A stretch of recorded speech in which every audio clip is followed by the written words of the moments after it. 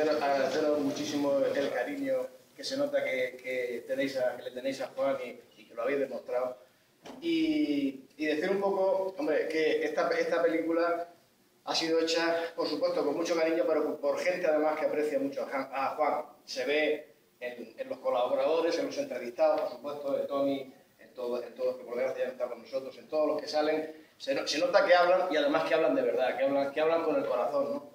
Luego también eh, tengo, que, tengo que agradecer que esto ha sido posible gracias a que, aunque en realidad no hemos tenido ni un céntimo de subvención, pero ha sido posible gracias a la colaboración de determinadas instituciones, como por ejemplo Filmoteca Española, Filmoteca de Cataluña, eh, Filmoteca de Asturias, en fin, una serie de estamentos productoras mm, a la que hay que destacar, por supuesto, a la de Enrique Cerezo, gracias a la aportación de Mercury, Mercury Film, pues hemos tenido pues, gran parte de las películas que hemos visto eh, que, la, que cuyos negativos pues, los, tiene, los tiene él y que nos los ha cedido gratuitamente para, para hacer la película. Quiero agradecer también eh, la colaboración también prácticamente desinteresada de, de, Pedro Contreras, el músico, y de Ruth Lorenzo, nuestra eurovisiva cantante, que, ha, que ellos dos han compuesto esta hermosísima canción del final que está dedicada, dedicada a Juan María.